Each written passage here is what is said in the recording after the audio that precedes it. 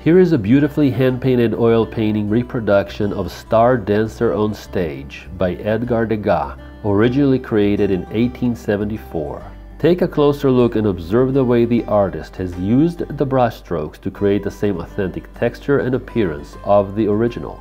Degas spent most of his career in Paris and became famous for his paintings of the ballet. This is a stunning example of how Degas used pastel colors to create a glow in his scenes. Here the piece is shown as a 20 by 24 with a beautiful gold frame called the Gold Luminoso frame. We chose this frame because of the way the gold reflects across the pastel colors, but we offer it with a variety of other frames and in different sizes ranging from 8 by 10 to 24 by 36. Custom sizes can also be quoted upon request. Bobby from Florida says, he has gotten so many compliments. Bring the beauty of hand painted art into your home and transform your space.